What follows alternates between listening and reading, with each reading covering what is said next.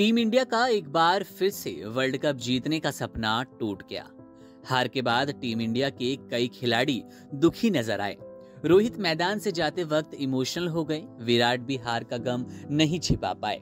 मोहम्मद सिराज को तो जसप्रीत बुमराह को संभालना पड़ा। कप्तान रोहित शर्मा ने ऑस्ट्रेलिया से मिली छह विकेट की हार के बाद वर्ल्ड कप फाइनल में बल्लेबाजी अच्छी नहीं रही। उन्होंने कहा कि हमारी बल्लेबाजी कमज़ोर थी, इसलिए रिजल्ट्स हमारे पक्ष में नहीं थे। लेकिन श्रेय पूरी टीम को जाता है। हमारी टीम मज़बूत थी, मुझे गर्व है। रोहित और टीम इंडिया के खिलाड़ी के चेहरे पर जो हार है, साफ़ तौर पर झलक रही थी। न केवल खिलाड़ियों के चेहरे पर, स्टेडियम में मौजूद दर्शकों के चेहरे पर ट्रॉफी चूकने की निराशा साफ़ तौर पर देखी जा रही थी। रोहित ने मैच के बाद बताया कि टीम इंडिया से आखिर चूक कहाँ हुई। मैच के बाद रोहित ने कहा, मैच का रिज़ल्ट भले ही उनके पक्ष में नहीं रहा, लेकिन हम जानते हैं कि आज हमारा दिन नहीं था। मुझे टीम पर गर्व है। अहमदाबाद में पहले बल्लेबाजी करने उतरी भारतीय टीम 240 रन के स्कोर पर सिमट गई। इस लक्ष्य का बचाव करना मुश्किल था। रोहित शर्मा ने कहा, ईमानदारी से कहूँ तो अगर स्कोर में 20-30 रन और जुड़ते तो अच्छा होता।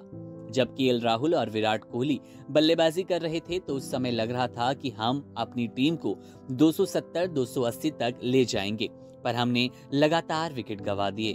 रोहित ने ऑस्ट्रेलिया के छठी बार चैंपियन बनने पर कहा ऑस्ट्रेलिया ने तीन विकेट गंवाने के बाद बड़ी पार्टनरशिप की।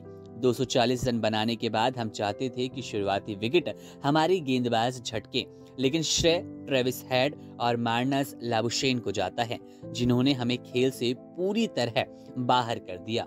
रोहित ने टॉस गंवाने के बाद कहा था कि अगर वो टॉस जीतते तो भी बल्लेबाजी का फैसला करते।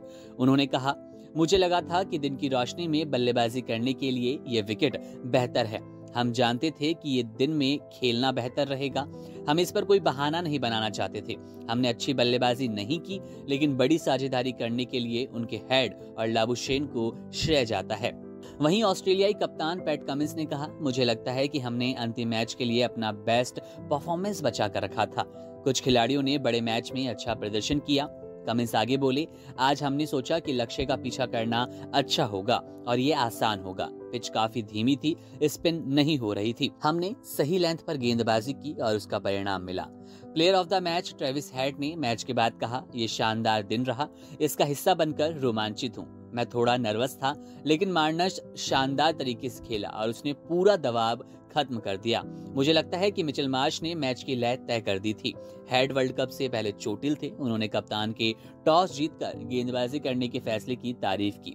वे बोले, पहले गेंदबाजी का फैसला शानदार था और जैसे जैसे मैच आगे बढ़ा, विकेट बेहतर होता गया। इससे हमारी टीम को फ़ायदा मिला। सीधे तौर पर कप्तान रोहित शर्मा ने उस बात की जानकारी दी। वो बात रखी जो कि मैच में एक टर्निंग फैक्टर रहा, टर्निंग पॉइंट रहा। रोहित शर्मा बोले, सीधे तौर पर 20 से 30 रन हमने कम बनाए थे। अगर ये रन और बनते तो कहीं ना कहीं हम मैच में वापसी करते, मैच में खुद को देख पाते और परिणाम दूसरे होते। शायद ये ट्रॉफी हमसे नहीं चूकती।